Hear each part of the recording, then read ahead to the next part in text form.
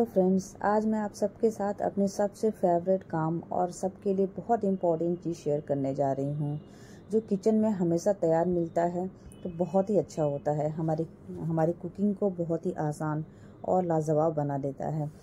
इसलिए क्योंकि ये तैयार मिलता है तो हमें कुछ भी बनाने में आलस नहीं होता है। बहुत जल्दी जल्दी सारी चीज़ें तैयार हो जाती हैं।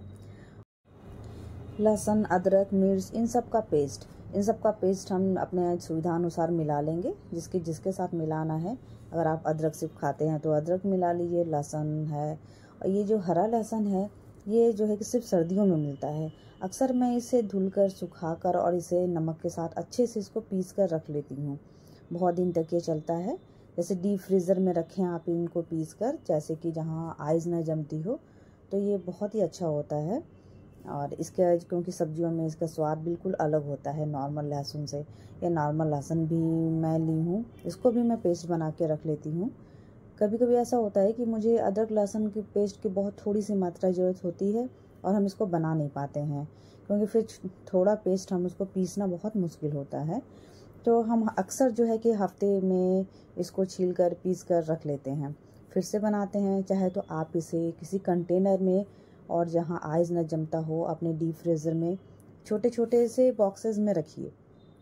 छोटे छोटे बॉक्सेस में रखने से ये होगा कि आप जैसे पहला बॉक्स निकाल के आप यूज़ करेंगे, फिर तब तक बाकी सबको टच नहीं करेंगे। तो ऐसे बंद रहेगा तो वो सालों चलेगा, वैसे ही चलेगा। बिल्कुल भी उसका टेस्ट टेक्सचर कुछ भी कुछ भी नहीं ख़राब हुआ कलर भी बिल्कुल से वैसा के वैसा रहेगा। मैं अक्सर ये करती हूँ और इसका स्मेल को इसमें कोई भी केमिकल नहीं मिलाया जाता है तो इसका स्मेल और स्वाद सब कुछ जो है बरकरार रहता है। वो मार्केट वाला जो है केमिकल वाला स्मेल बिल्कुल नहीं आता है, बिल्कुल ताज़ा स्मेल होता है। यहाँ पर मैंने हरा लहसुन जो है 250 ग्राम लिया है। इसको धुलकर रात भर पंखे के नीचे सुखा लिया है और 100 ग्राम जो है मिर्च और 100 ग्राम अदरक और दो चम्मच जो है सॉल्ट ले लिए हैं। तो सबसे पहले हम मिर्च का पेस्ट बनाएँगे। मिर्च का पेस्ट पहले बनाएँगे क्योंकि हम इसमें लहसुन की खुशबू नहीं चाहिए। मिर्च का पेस्ट बनाने से ये होता है कि घर में को, हर कोई जो है तीखा नहीं खाता है। तो बहुत ज़्यादा तीखा जो नहीं खाता है उसके लिए हम कल कम मिर्च डालकर जो है सब्ज़ी या कुछ भी बना देंगे।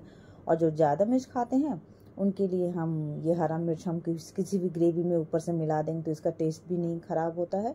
और लाल मिर्च जो है ऊपर से डालने से थोड़ी दिक्कत भी होती है। टेस्ट भी नहीं अच्छा होता है। तो चले, हम जो है कि हम हरा मिर्च अक्सर जो है कि पीस कर इसमें रख लेते हैं। जैसे आलू का पराठा वगैरह भी बनाना है तो हल्का सा डाल दिए तो ये दांत पे नहीं आता तो बच्चे जो है आसानी से खा लेते हैं। दांत पे आने से या फिर मुँह में ऐसे खड़े खड़े आ जाते हैं तो दिक्कत होती है बच्चों को।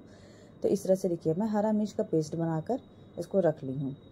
अब मैं इसके बाद जो है हरा लहसुन, अदरक और मिर्च का पेस्ट बनाऊँगी। तो इसमें थोड़े थोड़े बैचेस में करके हम पीसेंगे। जब भी हम एक बैच डालेंगे तो उसमें जो है एक चम्मच जो है नमक डाल देंगे।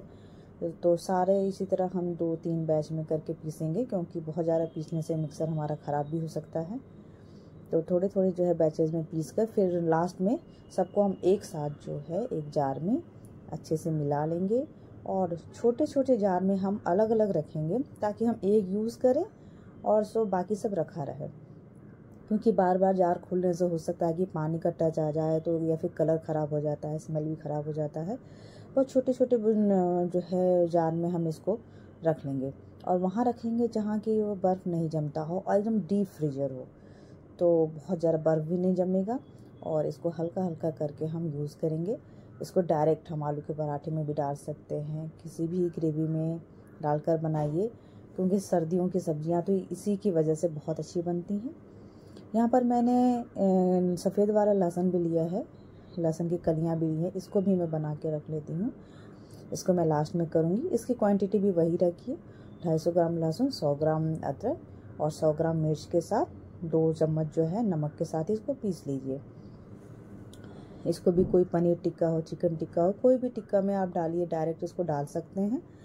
बहुत लोग कहते हैं कि हम तो फ्रेश ही बनाते हैं। हाँ फ्रेश भी बहुत अच्छा होता है। इसका भी बिल्कुल स्वाद बिल्कुल फ्रेश की तरह ही होता है। लेकिन क्या होता है कि जैसे हमको तुरंत की ज़रूरत होती है किसी में डालने की पेस्ट की तो वो जो है बन नहीं पाता है। तो ऐसे हमारे किचन में ये मिलता है तो तुरंत हम कोई भी टिक्का हो या फिर पकौड़े बनाने हो, कुछ भी बनाने हो तो हम इसको जल्दी से बना लेते हैं। तो देखिए, इस तरह से हम अलग अलग जार में कर कर रख लिए हैं और ये हमारा किचन का एकदम जादू वाली चीज़ है और मुझे बहुत ज़्यादा पसंद है ये चीज़ करना। मैं अक्सर करती हूँ क्योंकि मैं बहुत ज़्यादा कुकिंग करती हूँ। आप भी इसे अपने घर में ज़रूर बना के रखिए। देखिए, आपको टेस्ट अगर ख़राब होगा तो मुझे कमेंट में ज़रूर बताइएगा। सालों तक ये टेस्ट वैसे का वैसे ही रहता है।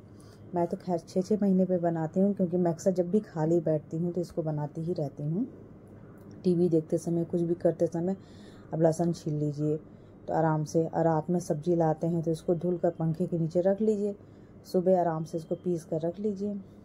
तो देखिए, ये सारे ट्रिक्स आपको कैसे लगे हैं, मुझे ज़रूर बताइएगा कमेंट में। और कुछ अगर इसमें मिस्टेक होगा तो sorry. Thanks thanks for watching my channel. Bye bye